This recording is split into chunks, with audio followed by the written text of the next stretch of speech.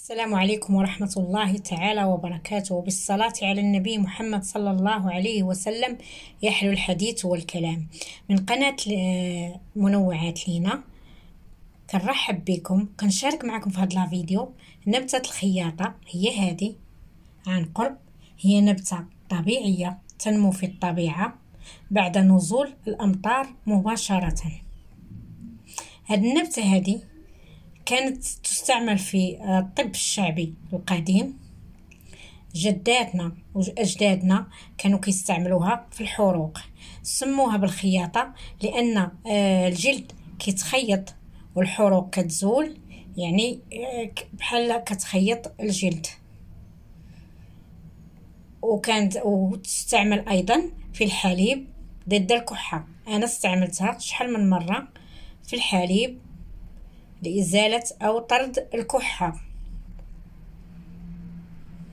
وحتى الباحثين أشادوا بهذه النبتة بمميزاتها ومنافعها العظيمة. نتمنى نكون آه، نحصرها في هذا الفيديو القصير أو نذكر آه، أبرز المنافع لأن المنافع ديالها كثيرة. يصعب حصرها. كل آه، مجتمع وليه مزايا. أو ليه معارف واستعمالاته الخاصة لهذه النبتة العظيمة الطبيعية. ها هي. من هنا يابسة. كتيبس فضل كتقطف بحال هذا الشكل هذا. وتيبس تفضل. الوالدة دائما كتستعملها. يعني دائما كتكون عندها طيلة السنة. كتقطفها في وقتها وتجيبها تيبسها في الظل وتبقى عندها حتى توصل الوقت الآخر ملي كتنزل الأمطار بحمد الله وكتنمو هاد هاد النبتة هادي كتقطفها مرة أخرى. اذا ما كتخطاهاش من المطبخ أو في المنزل ديالها.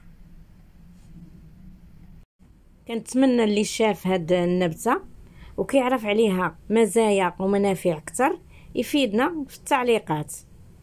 وإلا بغينا نستافدوا من هاد النبتة مزيان ما خصناش آه نستعملوها بكثرة. يعني الإفراط فيها يضر الجسم. وكما كتشوفوا هاد الحزمة هادي هادي عند الوالدة جبتها لقيتها عندها في المطبخ. ودرتها علقتها في الحبل باش تشوفوها مزيان. آه هذه كما قلت لكم من السنة الماضية كتيبسها الوالدة الظل كانت محطوطة في واحد الكيس ديال الثوب وكما قلت لكم يجب حسن الاستعمال لأنه ما نكثروش منها إلى لأن الشيء إذا زاد عن حده انقلب إلى ضده. هي تعالج قرحة المعدة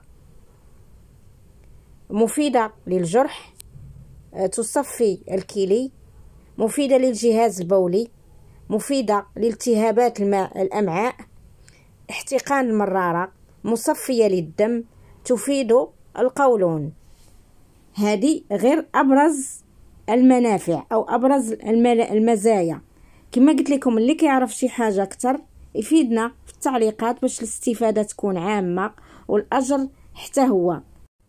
الوالدة كتخليها هكا يعني ما كتفرتتهاش ولا كتحطها ولا كطحنها ولا إلا بغ... إلا بغاتها. كتستعملها في الحليب كتاخد عريش أو غصن صغير وتفيضه في الحليب أو تغليه في الحليب وكتخليه حتى يدفى مثلا الحليب حتى يدفى من بعد ما تغلى فيه الخياطة آه كتصفيه وكتشرب الحليب. وهاد الوصفة فعالة هي سهلة سهلة التحضير وفعالة لطرد الكحة. الكحة ما كتبقاش نهائيا. نتمنى يعجبكم هاد الفيديو وتفيدونا. اللي كيعرف شي حاجة يفيدنا. كما صرت في الأول. وخليت لكم الراحة ورمضان كريم. أضرب لكم موعد في الفيديو المقبل بإذن الله عز وجل.